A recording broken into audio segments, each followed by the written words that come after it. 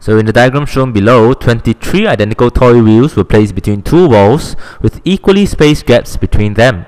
The first toy wheel and the last toy wheel, referring to these two, were touching the front wall and the last wall respectively.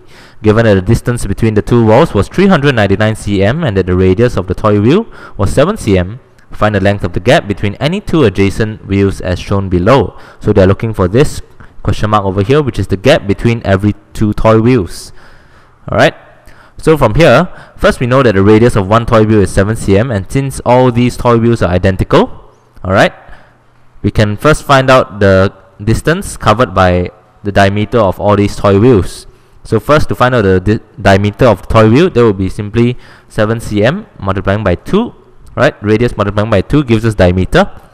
And since there's a total of 23 toy wheels, we will multiply it by 23, which will give us our the figure 322.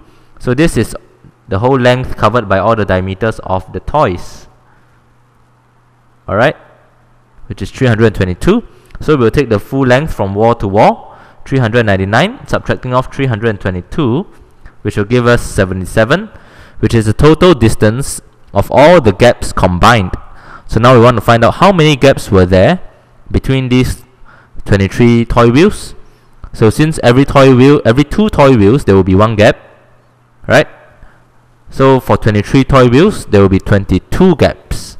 So if there were 22 gaps, and the total length of all the gaps is 77 cm, we can take the full length dividing by the number of gaps, 77 dividing by 22, that will give us our answer of the distance of the gap to be 3.5 cm.